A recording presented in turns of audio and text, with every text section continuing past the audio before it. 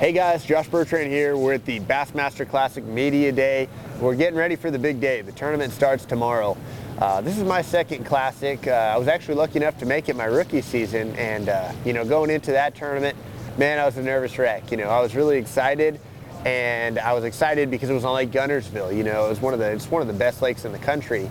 But you know, rather than worrying and focusing on the fish, I was really, really concerned about not looking like an idiot during all the different interviews and shows and during the tournament.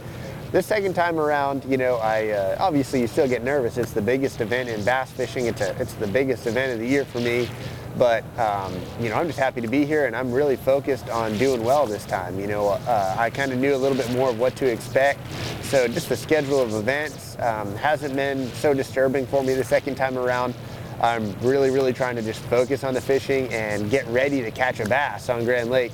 And uh, you know what I love about this tournament is, uh, you know, Grand's another phenomenal fishery, and uh, it's it's really a really level playing field right now because we've got some crazy water conditions. The water is much dirtier than normal right now. Uh, so you know there are some really good locals that will still have a little bit of a you know extra edge but with things being not exactly normal, it, it, brings the field a little bit closer to those really, really good local guys. So, I mean, I think it's anyone's tournament to win.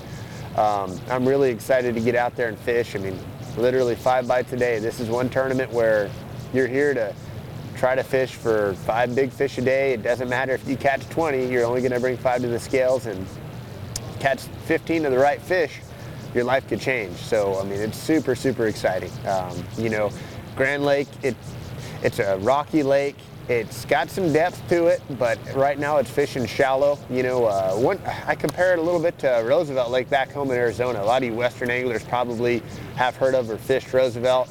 If you take the brush out of Roosevelt, you've got Grand. You know, you also add some, there are a lot of boat docks here, but it's, it's a really rocky lake. Rock is the predominant feature on this lake, and uh, I've seen Roosevelt several times, you know, over the last, you know, the last 10 years where we get big rains in the spring, and that water's cold and muddy, and as it starts to stabilize and warm up, you know, the fishing improves, and that's what we're seeing right now at Grand. It's been a cold, wet winter.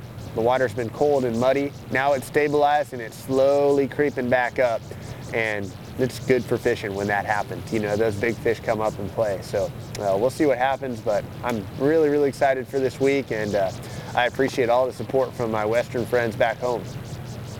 What, what's your target weight for the weekend? What's it going to take to win this thing? Uh, you know, I'd say it's this is a pretty vague answer, but somewhere between 50 and 60 pounds is my guess. You know, uh, probably 17 to 20 pounds a day. Could be a little bit more, could be a little bit less.